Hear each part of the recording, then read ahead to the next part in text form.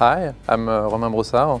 I'm IT Director in charge of uh, infrastructure engineering, IT operations and cybersecurity. As the first French e-commerce player and a leader in Europe, Cdiscount faces challenges of a growing marketplace. We manage a catalog of uh, 40 million of active reference, more than 1 million unique visitors a day, and up to 10 orders per second during the Black Friday. We decided to build new data centers with two ideas in mind, centralization and modernization.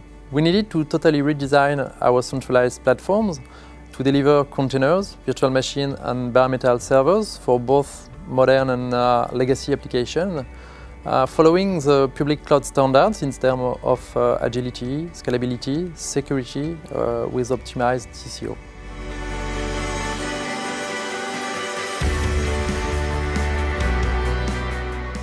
Hi, I'm Pierre Hérault. I'm the head of platforms at Cdiscount. The deployment of uh, Cisco ACI helps us to support our transformation to DevOps by proposing a REST interface that can be directly requested by tools like Ansible, and Terraform or uh, Python scripts.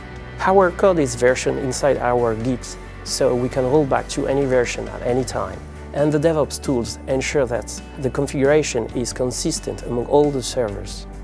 DevOps guys and network guys speak the same language, and the NetSec team can dedicate its time to business critical missions instead of configuring server ports. To choose Cisco ACI, we compared the features, the limits, the environmental factors, the open source communities and projects of each solution. Nexus 9K offered the best ratio. Deployment was easy, it took only a few weeks. We started by replicating major functions of our network inside the lab. And then we deployed the full network in a new room inside our data center.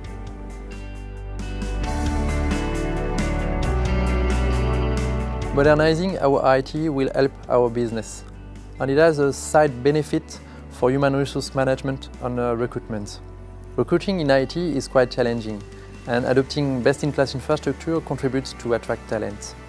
After the initial deployment, we plan to interconnect our SDN to our ever-growing containerized environment.